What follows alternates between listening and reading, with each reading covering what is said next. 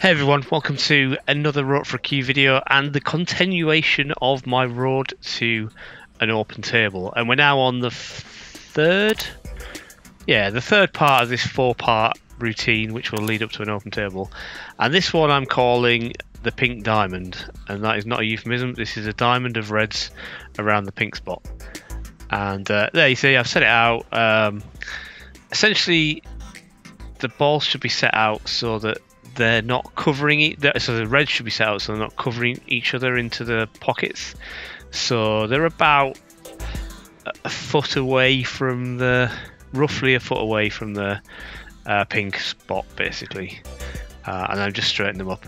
Uh, in this one, I recommend especially if it's going to take you multiple attempts like it takes me, I recommend actually marking the positions of the reds on the table. So I just get my old uh, triangle chalk and just put a little bit of uh, chalk on the table.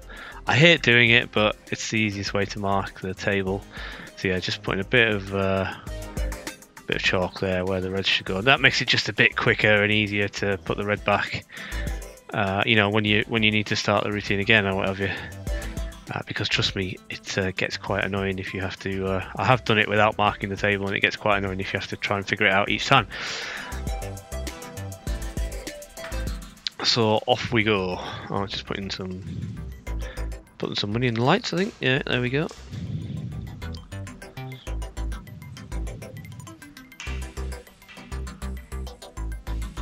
As with usual these sessions, I'm not going to show you every attempt. I'm just going to show you a couple of the best ones.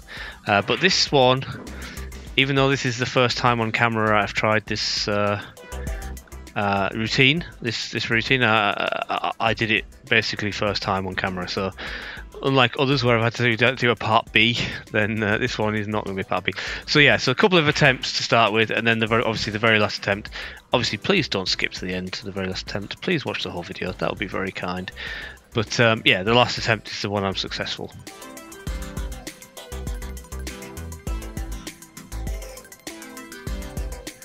Left myself a bit awkward here, which is not ideal.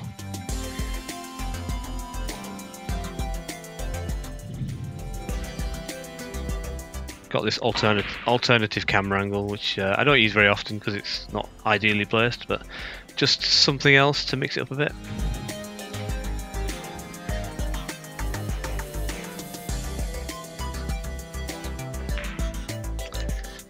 So what you're kind of aiming for is to essentially stop the white.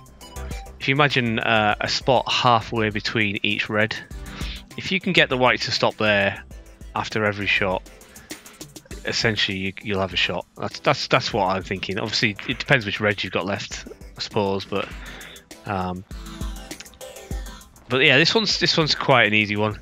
Uh, I'd say this is probably the easiest of the three, uh, sorry, the four parts to this routine. So if you manage the block line up relatively easily and you manage the blue rectangle relatively easy, then I don't think you'll have any trouble with this one, to be honest.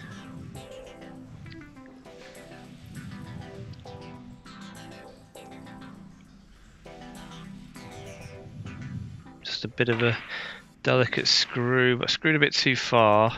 Obviously had the red as a bit of a stopper, but yeah, I'm a bit, uh, yeah, well, not really on this pink, but gonna try and play it. Barman seems to be whistling the uh, Coronation Street theme.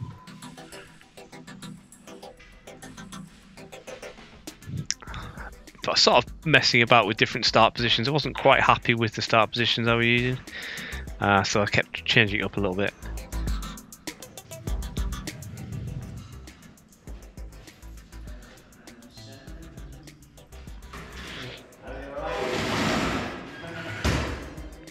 Bar's just opening.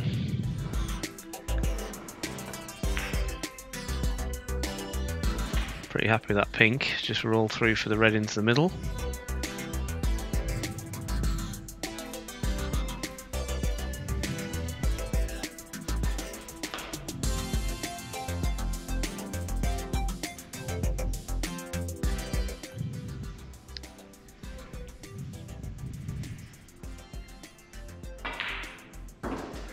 There we go. Nicely back for the pink in the middle here. Uh, sorry, pink in the left corner, really. should be able to get onto the red below the pink. Ooh, just, oh, missed the pink, but also went a bit too far on the red. That's a shame. So we go again. I think this is probably my favourite start position, just rolling through for this pink back into the middle.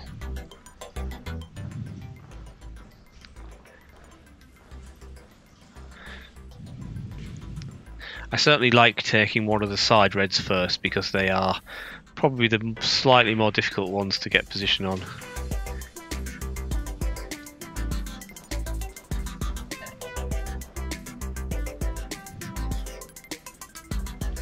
So yeah, nicely on this red below the pink. Just got a slight angle, so I'm slightly low, lower than straight, so I've just got a slight angle to get back up for the pink into the middle.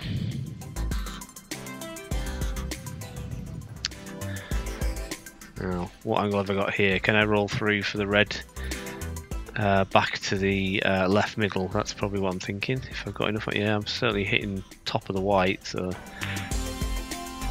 Ooh, oh, actually, that's maybe not too bad. Maybe I can get the red, uh, the side red now. Just do a sort of little stun screw shot out for the pink. Yeah, that's what I'm looking at.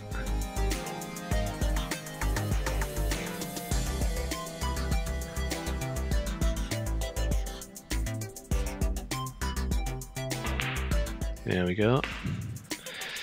So I'm perhaps a little high on this pink. Am I straight? Can I just roll through for the red?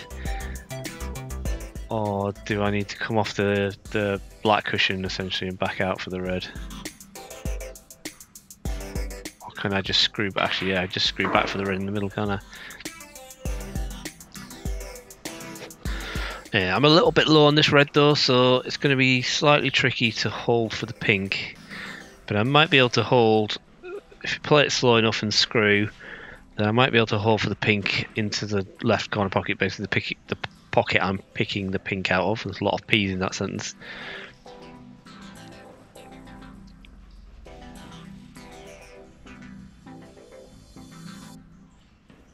Let's see if I can do this. It's a bit more of an angle than it looks, I think, on the screen. Switch the camera for no reason. Yeah, I think I just about hold enough. It's a, ooh. yeah, it's uh, it's a bit it's a bit awkward, but you know this is should be a shot I can do. Lean over, get to it quite comfortably. Just taking my time. Don't really want to have to do this routine again.